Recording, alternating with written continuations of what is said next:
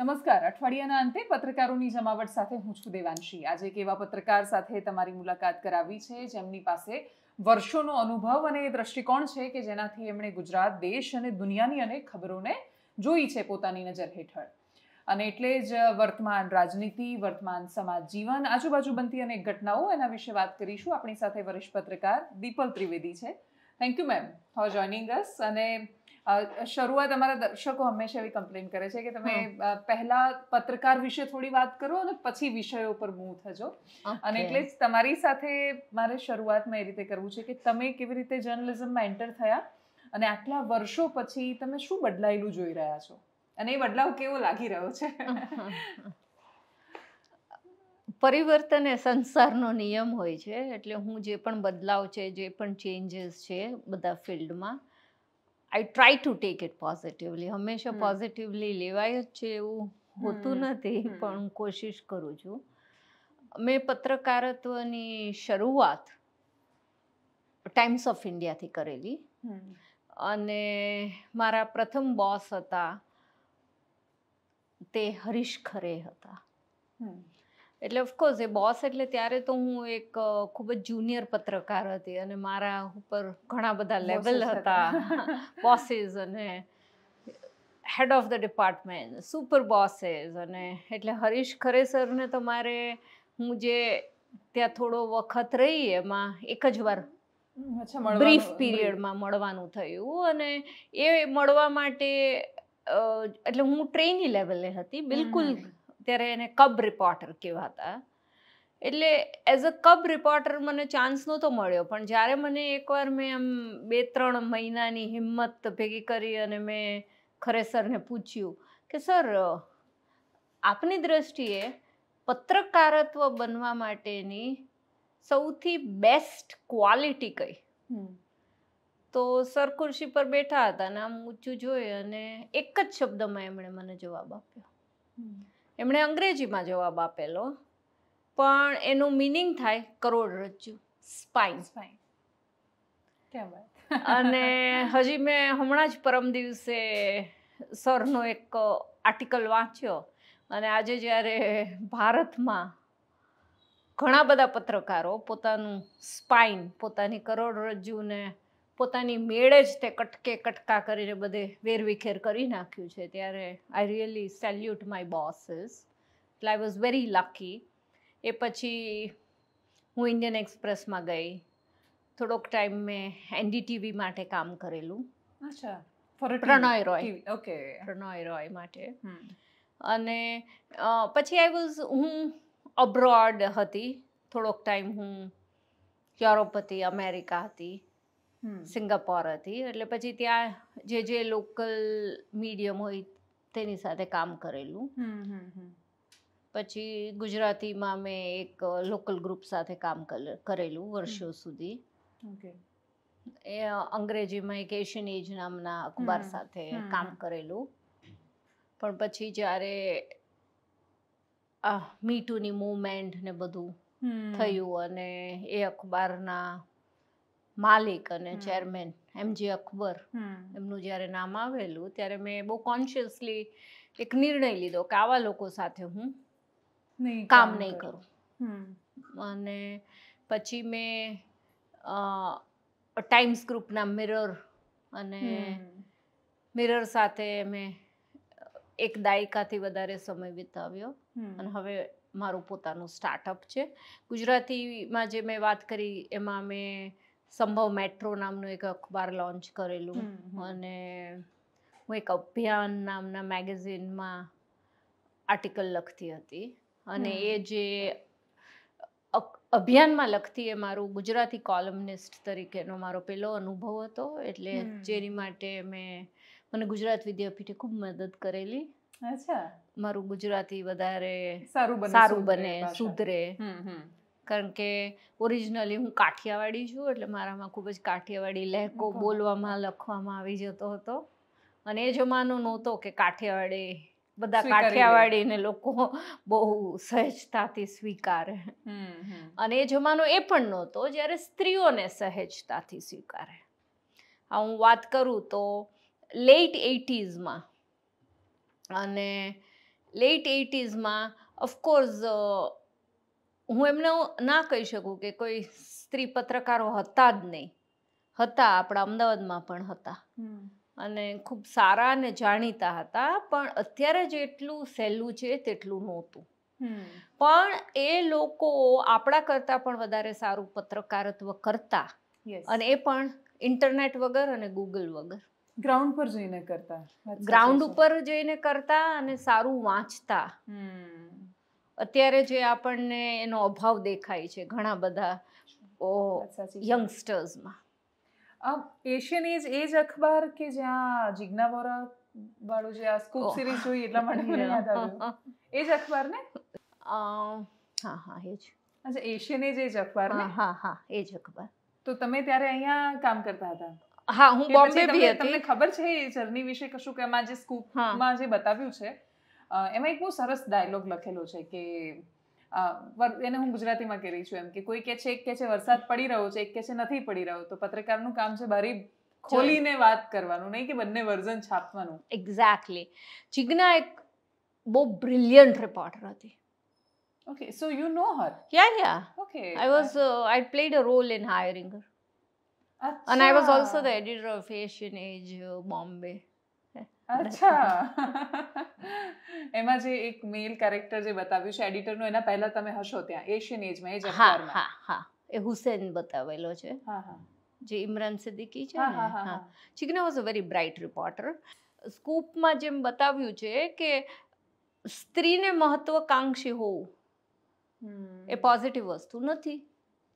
એટલે જિજ્ઞા છે એ ભોગ બની. સે ત્રણ બે ત્રણ વસ્તુનો ભોગ બની. એક ભોગ બની આ બ્રેકિંગ ન્યૂઝ અને સેન્સેશનલ સ્ટોરી પાછળની ગાંડી દોટનો એક બ્લાઇન્ડ એમ્બિશનનો અને એક સ્ત્રી હોવાનો.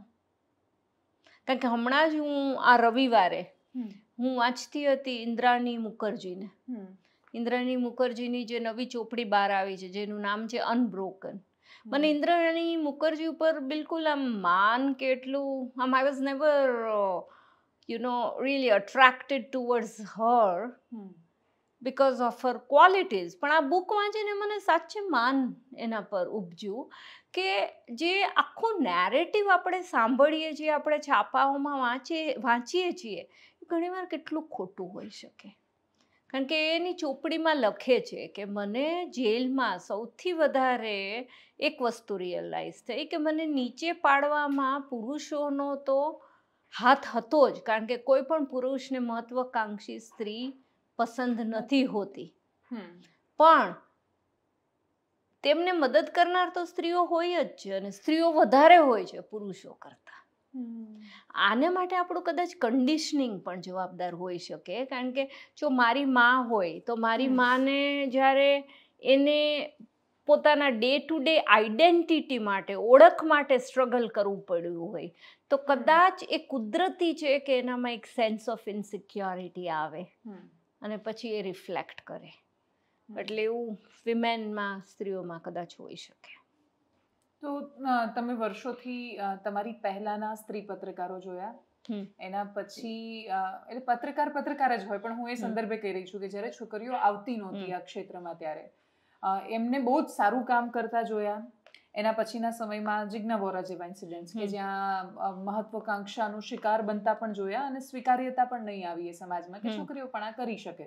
અને એના પછી આજનો સમય પણ તમે જોઈ રહ્યા છો કે જ્યાં સરખામણીએ છોકરીઓ આવી રહી છે. હજુ પણ ફિફ્ટી ફિફ્ટી રેશિયો તો નથી જ અને એમાંય બોસીસ લેવલ પર તો ફિમેલ એડિટર્સ હોય એ તો બહુ જ દૂરની વાત થઈ ગઈ છે. તો એ શું કામ છે કે છોકરીઓ હોશિયાર નથી એવું છે કે પછી સ્વીકારતા નથી એમને બોસ તરીકે ઇઝીલી ઓકે બહુ સારો પ્રશ્ન છે દેવાંશી અને આઈ એમ શ્યોર કે તારે જે બહુ બહોળો ચાહક વર્ગ છે એના થકી તું આ એક મેસેજ આપી શકે. તો આપણે હંમેશા સ્ત્રીને એક માઇલ્ડ રૂલ પસંદ કરીએ છીએ બરાબર છે? કે માઇલ્ડ રોલ ના હોય તો એ વેમ્પ હોય પણ વેમ્પ હોય તો કેવી વેમ્પ? કે ભાઈ એ ખરાબ સાસુ હોઈ શકે. બરાબર? એ ખરાબ ડ્રગ ડીલર ના હોઈ શકે. ડ્રગ ડીલર માટે તમારે એક પુરુષ જ લાવવો પડે.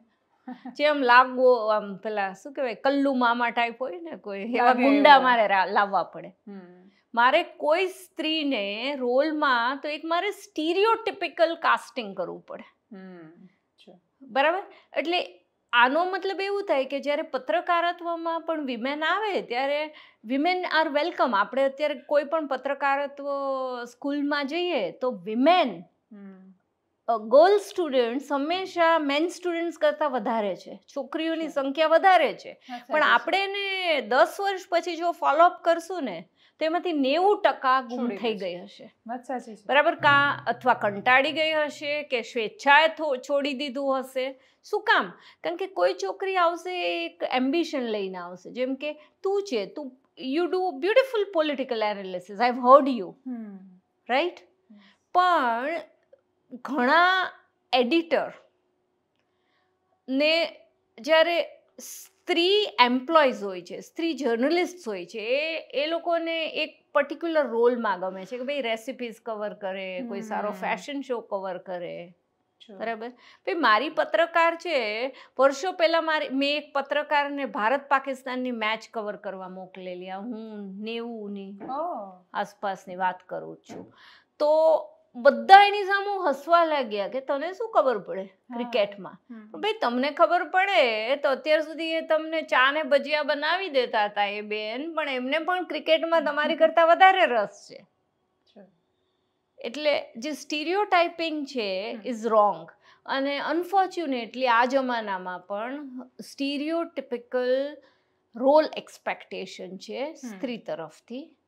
અને એના કારણે I think women a lot of issues hmm ના વાત સાચી છે. કેમ કે શેર માર્કેટ પોલિટિક્સ સ્પોર્ટ્સ આ બધા પર ચર્ચા કરતી સ્ત્રીઓ ઓછી જોવા મળે છે ને જે દેખાય છે એની સ્વીકાર્યતા પણ એક્સેપ્ટન્સી નથી હોતી સરખામણી રાઈટ અ, વાત હવે પોલિટિક્સની કરીએ જે આખા અઠવાડિયામાં અને બીજું તો આપણે જ્યારે શૂટ કરી રહ્યા છીએ ત્યારે સૌથી વધારે ચર્ચામાં છે ગુજરાત ભાજપ.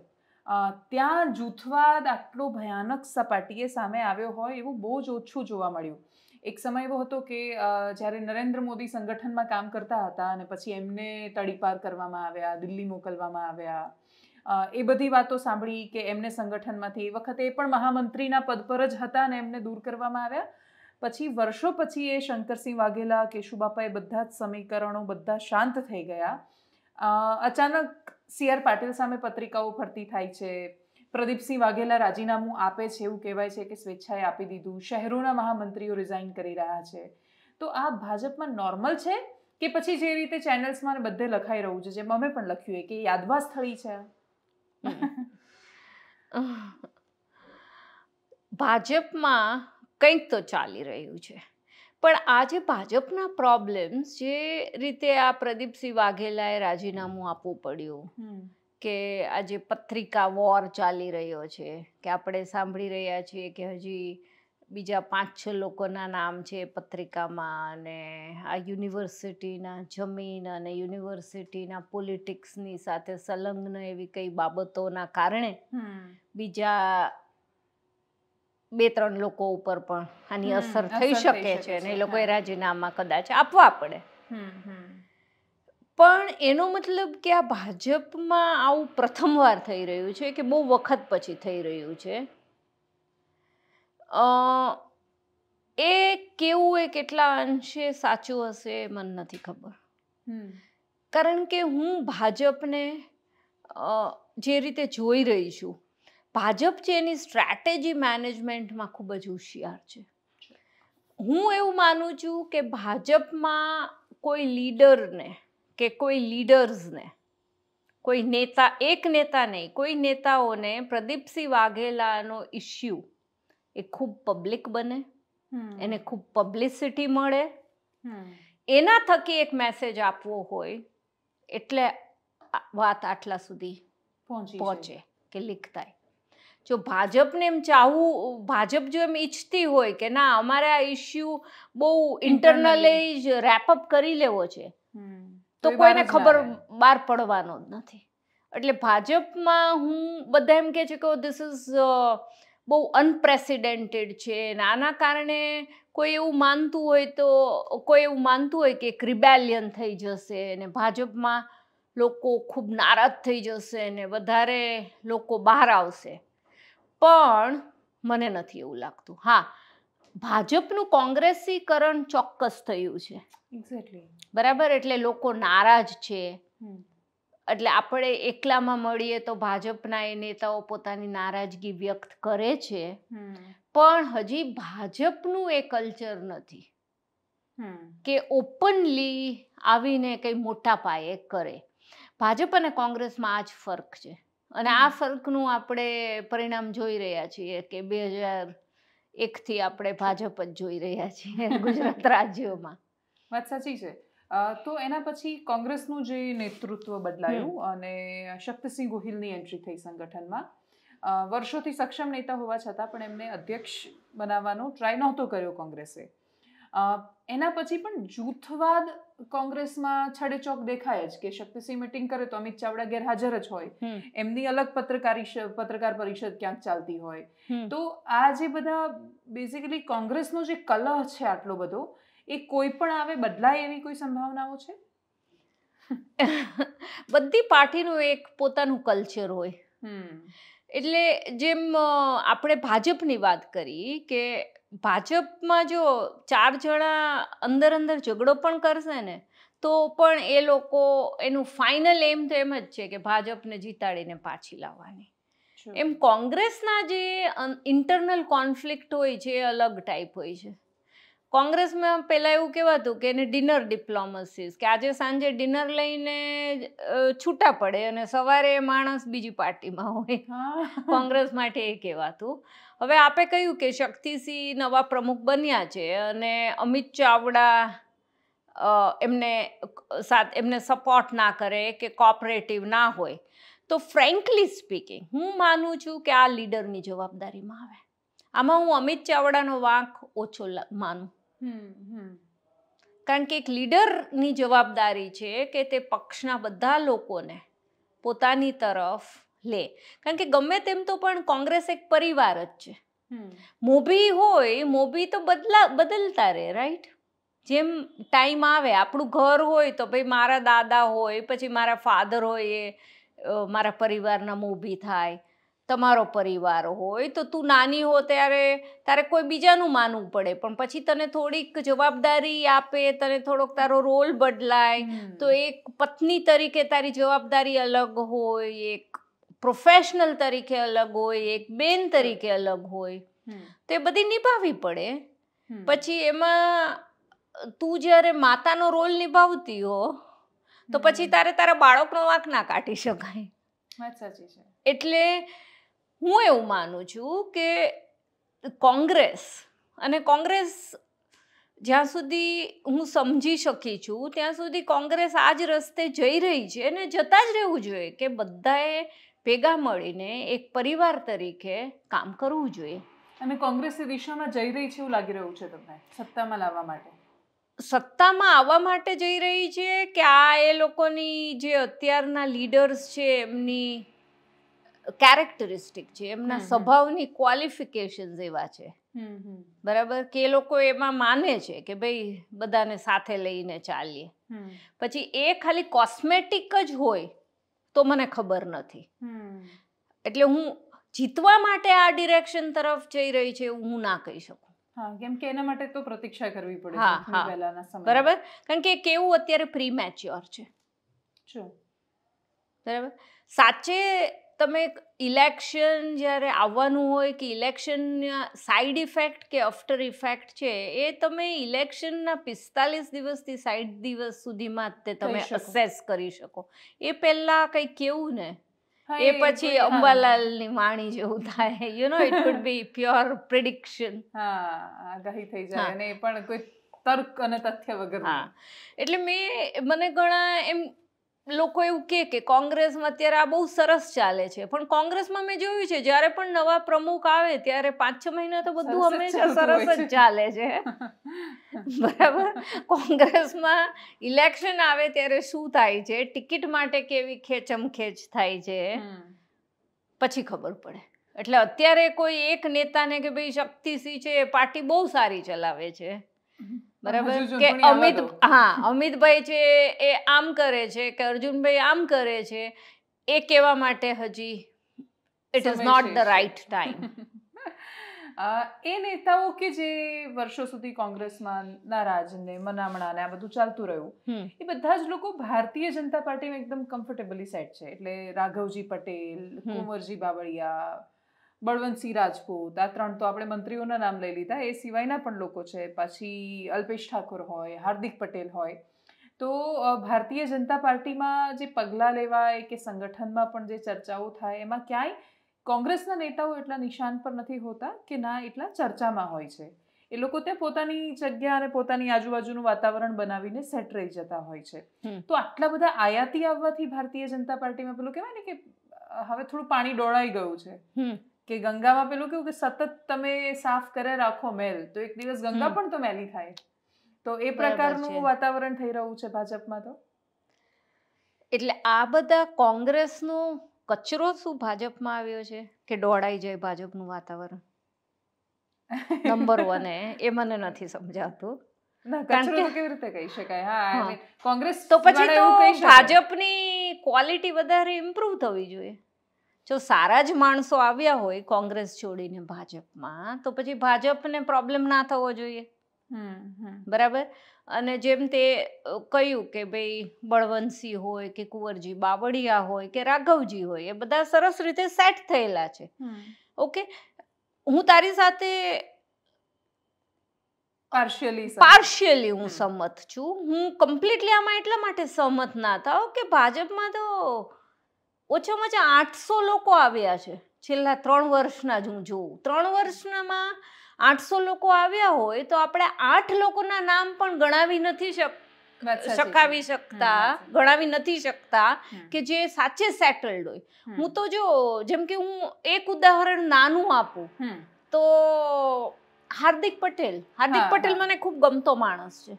હાર્દિક પટેલનું જે ઓરેટરી છે Yes. બરાબર? એ ભાજપમાં મને સાવ બુઠ્ઠી થઈ ગયેલી લાગે છે. હમ. મને જે પેલા કોંગ્રેસમાં હતો એક સ્પોક્સમેન જયરાજસિંહ પરમાર. મને જયરાજસિંહ પરમાર મને બાપુ દેખાતા જ નથી ક્યાંય. અને બહુ જ સરસ રીતે પાર્ટીને પ્રેઝન્ટ કરતા લોકો. હા અને આ બધા એટલે હાર્દિક બી હાર્દિકની ઓરેટરી સ્કિલ્સ કેટલી સરસ. યસ રાઈટ એટલે આ જે પર્સન્ટેજ છે જે બહુ સરસ રીતે સેટલ્ડ થઈ ગયા છે એ કયા કારણોસર સેટલ્ડ થયા છે અને કેટલા સારા સેટલ થયા છે એ મને નથી ખબર. મને રાષ્ટ્રીય કક્ષાના એક લીડર ખબર છે. એક રાષ્ટ્રીય કક્ષાના લીડર હતા જે હંમેશા એને બેસવાનું આવે ને તો સૌપ્રથમ સૌ પ્રથમ મને યાદ છે કે સોનિયા ગાંધી બેસે પછી અહેમદ પટેલ બેસે પછી પ્રિયંકા કે રાહુલ બેસે નંબર થ્રી. અને નંબર ફોર આ જ લીડર બેસે. એના પછી એક બાળકો એ બેસે રાહુલ કે સોનિયા કે. આટલું એમનું માન હતું. એમની ઉંમર પણ નાની હતી. હું જ્યોતિરાદિત્ય સિંધિયાની વાત કરી રહી છું. હમણાં મેં જ્યોતિરાદિત્ય સિંધિયાને જોયા તો એ બેગ ઉપાડીને બિચારા એટલું પાછળ પાછળ કે ચાલી રહ્યા હતા ને.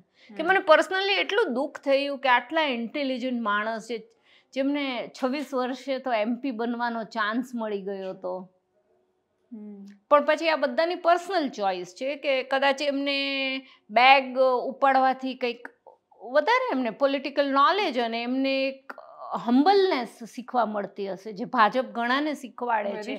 સિમ્પલિસિટી સિમ્પ્લિસિટી કારણ કે સિમ્પ્લિસિટી એ બહુ જરૂરી વસ્તુ છે ને એ ભાજપ જે શીખવાડી શકે એ કોઈ પોલિટિકલ પાર્ટી ના શીખવાડી શકે. એને સાદા ગુજરાતીમાં કહીએ તો ભાજપ ભલભલાને જમીન પર લાવી દે છે. જો. અને જમીનમાંથી ઘણી વાર ઉપર પણ લઈ જાય એને ખબર ના પડે. એટલે જમીન પર લાવે તો જ ઉપર જઈ શકે. બાકી ઘણા બધા નેતાઓ કોંગ્રેસમાં વાત સાચી છે તમારી કે ઉપર ને ઉપર રહેવાના કારણે ગ્રાઉન્ડ ગુમાવી બેઠા.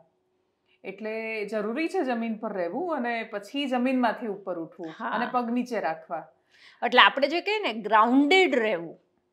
એ બહુ જરૂરી છે. એટલે ભાજપના ભાજપમાં ઘણું બધું ખોટું હશે. પણ ભાજપનું જે સ્ટ્રેટેજિક ઇલેક્શન પ્લાનિંગ છે.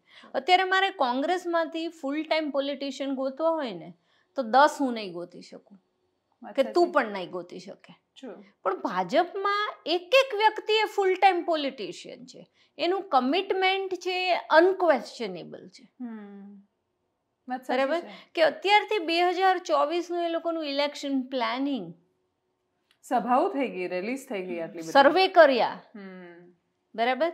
ચલો આપણે કહીએ કોંગ્રેસને જ્યારે કહો ત્યારે કોંગ્રેસ કે અત્યારે પૈસાનું નથી કે પૈસાનો પ્રોબ્લેમ ચાલે છે. કે આ લોકો ભાજપ છે એ પાવરમાં છે એટલે વધારે મિસયુઝ કરે છે એની પોઝિશનનો કે એનો પાવરનો પણ બે હજાર ચૌદ સુધી તો કોંગ્રેસ પણ પાવરમાં હતી. એમણે પણ અબ્યુઝ કર્યું છે ઘણું બધું. બરાબર છે એમણે પણ પાવરનો યુઝ મિસયુઝ અબ્યુઝ કર્યો હશે. પણ આ એક હકીકત છે જે લોકો કહે છે કે કોંગ્રેસના નેતાઓ એ હંમેશા પૈસાદાર બન્યા છે પાર્ટી નથી બની. વાત સાચી. અને ભાજપમાં એ લોકોએ એક એવી સોલિડ પ્રૂફ સિસ્ટમ બનાવી દીધી છે જેના કારણે અત્યારે દુનિયાની સૌથી મોટી પાર્ટી પૈસાદાર પાર્ટી આટલી સ્ટ્રોંગ પાર્ટી. વાત સાચી છે. એટલે પર્સનલ કરપ્શન કોંગ્રેસમાં સરખામણીએ ખાસું વધારે છે એ વાત સો ટકા સાચી છે કેમ કે ઇવન ઇલેક્શનના જે ફંડ આવે એની અંદર પણ બહુ બધા ભાગ પડી જતા હોય છે. ભાજપમાં એવું સામાન્ય રીતે નથી થતું. આ વખતે એ પ્રકારના આરોપ લાગે એના કારણે જ બાકીની બધી ચર્ચાઓ શરૂ થઈ. ઇન્ડિયા વર્સિસ એનડીએ વિશે પણ સમજવું છે. નામ આવ્યું એના પછી પ્રધાનમંત્રીએ રિએક્ટ કર્યું. એના પછી રાહુલ ગાંધીને જે સજા પર સ્ટે મળ્યો એના પછી કોંગ્રેસે ફરી એકવાર એ પ્રકારનું કેમ્પેઇન લોન્ચ કરવાની કોશિશ કરી કે નફરત કે બાજાર મેં પ્યાર કી દુકાન ખોલને આયા હું જે રાહુલ ગાંધી કહે છે. પ્રેમની દુકાનો ચાલે છે રાજનીતિમાં? ચાલવી તો જોઈએ. બરાબર? કારણ કે પ્રેમ પ્રેમ એટલે when we talk of Prem when we talk of love it means acceptance સ્વીકારપણું. Hmm. એટલે જ્યાં સુધી આપણે એકબીજાને એક વ્યક્તિ તરીકે નહીં સ્વીકારીએ. બરાબર? એ પછી ગમે તે પક્ષના હોય.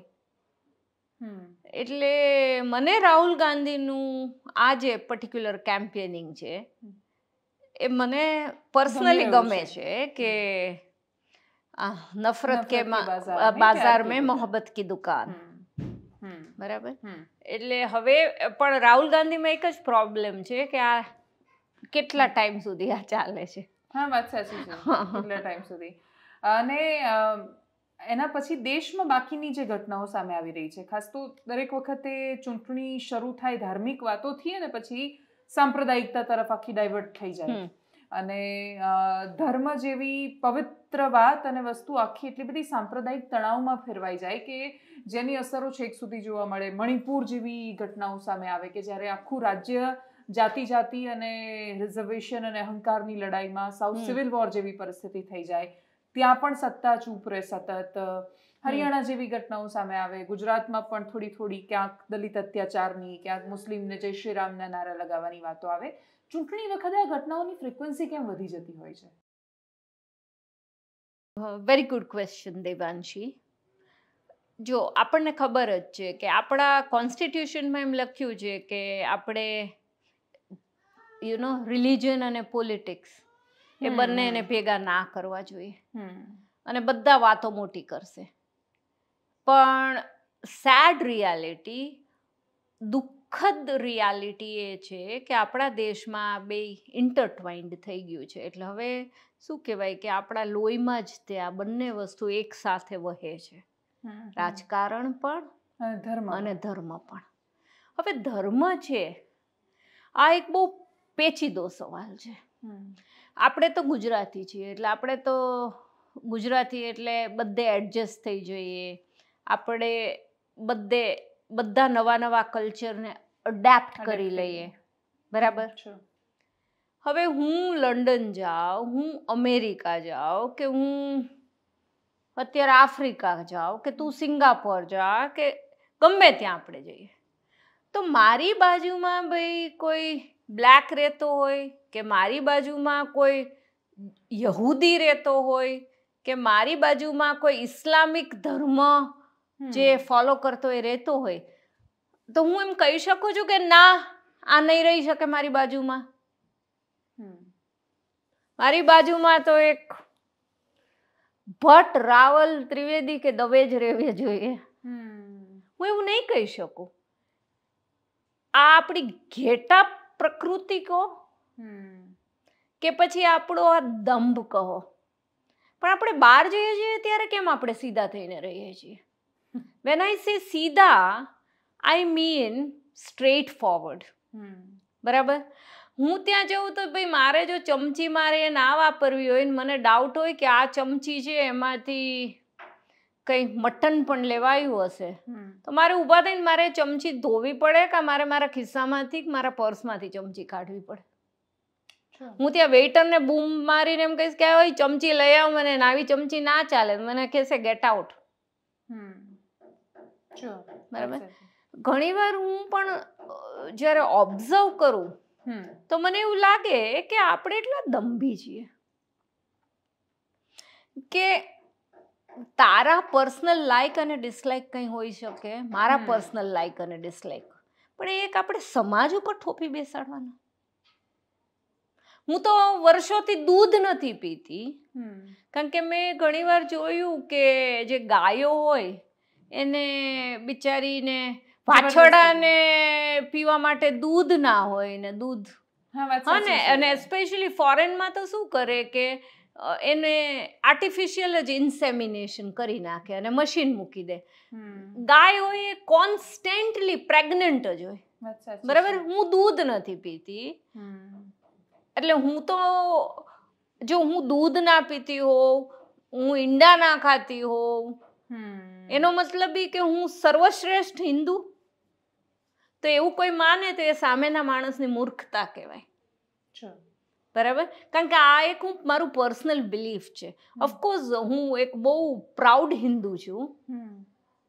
બરાબર? કે હું ભાઈ મારા ઘરમાં માતાજીનું સ્થાન હોય કે અમારા ઘરમાં ખૂબ જ રિલિજિયસ એટમોસ્ફિયર હોય. પણ પછી હું મારી થિંકિંગ કોઈ બીજા ઉપર ઇમ્પોઝ કરું. હમ. દેટ ઇઝ રોંગ જ્યારે આપણે પોલિટિક્સની વાત કરીએ તો પોલિટિક્સ પણ એક આપણા સમાજનો જ એક ભાગ છે. એટલે તારે જે ચોઈસ હોય એની ઉપર હું ધર્મના નામે હું આઈડિયોલોજીના નામે કે હું કોઈ નેતાના નામે હું કંઈ ઇમ્પોઝ કરું ને તો એ ખૂબ જ અનડેમોક્રેટિક કહેવાય. અને આપણે તો દુનિયાની સૌથી મોટી લોકશાહી છીએ. આપણને આ ના છાજે. હું હમણાં હજી બે દિવસ પહેલાં લોકશાહીના રિપોર્ટ્સ જોઈ રહી હતી. અને અત્યારે એકસો ને છ્યાસી દેશ એમાં છે. પહેલાં ભારતનો નંબર કંઈ હતો? એકસો ને વીસ. હમ. અને હવે એનાથી નીચે જઈને આપણે એકસો ને છાસઠ ઉપર પહોંચી ગયા. બરાબર? આપણે કંઈ you know underdeveloped African country કે પછી તાલિબાન સાથે આપણે કંઈ કોમ્પિટિશન કરવાની છે? આપણે લોકશાહી એક મેચ્યોર્ડ લોક લોકોની જેમ આપણે દુનિયાની સૌથી મોટી લોકશાહી છીએ. આ કેટલી સુંદર વસ્તુ છે લોકશાહી. હમ.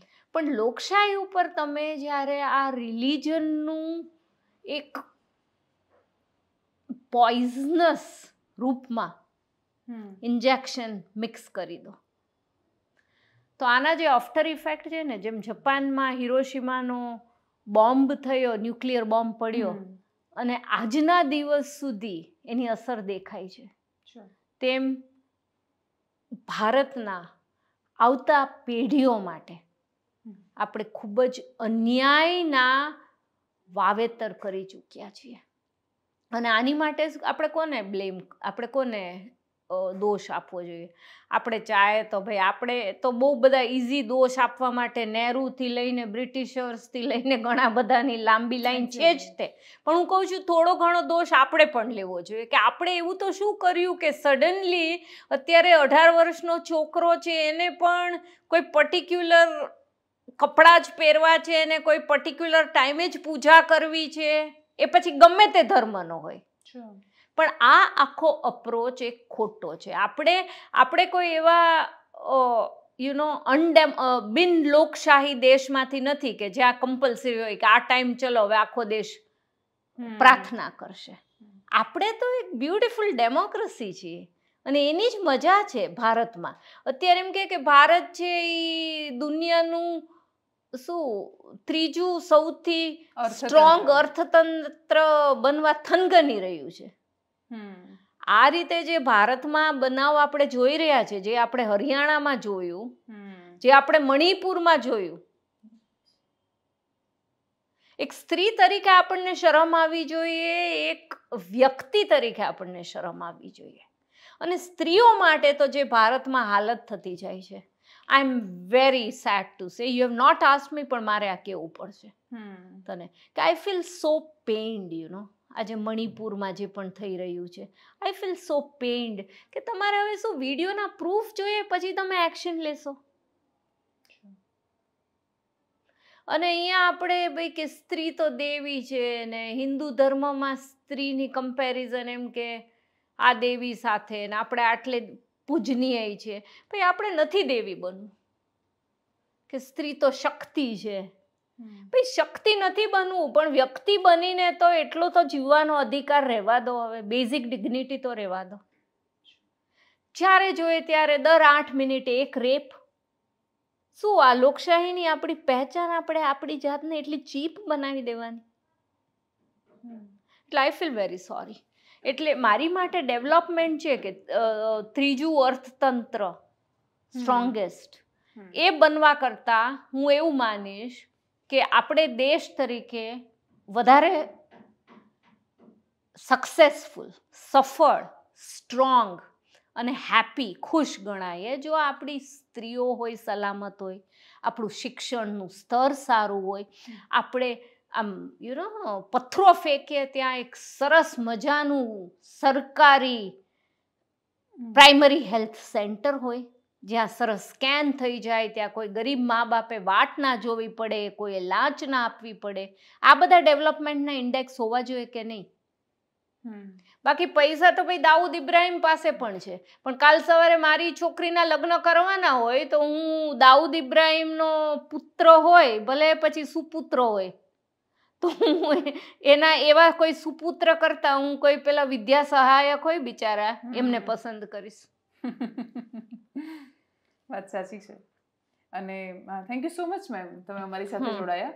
અને દીપલબેને જે વાત કરી એનો એકદમ એને અર્કનો રીતે પૂરી કરીએ તો હકીકત એ જ છે કે આપણે પાસે આપણી વિકાસની અવધારણાઓ અને વ્યાખ્યાઓ ભૌતિક વિકાસની બહુ જરૂરી છે અને પૈસા એ જરૂરી છે. પણ માત્ર જો પૈસો સેન્ટરમાં હશે અને એના સિવાય બીજું કંઈ જ નહીં તો આપણે જે સમાજમાં ખાઈ પેદા કરી રહ્યા છીએ, એની અંદરથી મરો બંને બાજુનો થશે અને આપણે અનેક ઘટનાઓમાં જોઈ રહ્યા છીએ.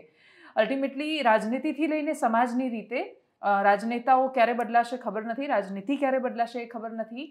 સમાજમાં આપણે નાગરિક બનીએ ઘેટા વૃત્તિમાંથી થોડા થોડા બહાર આવીએ. નમસ્કાર.